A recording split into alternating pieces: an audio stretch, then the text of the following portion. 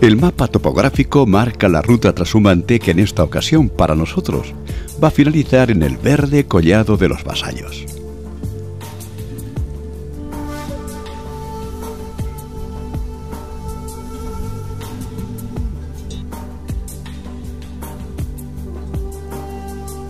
Caminamos por otra meseta labrada encima de la Sierra de Tragacete, a 1670 metros de altitud, desde la que divisamos todo lo que los amantes del senderismo buscan. Puro espectáculo.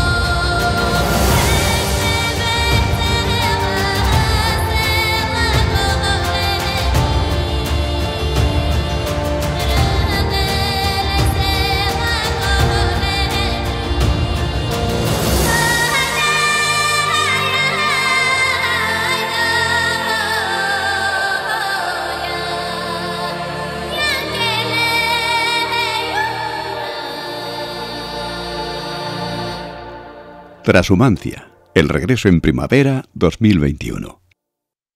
Si te gusta, suscríbete a nuestro canal. Me haces falta.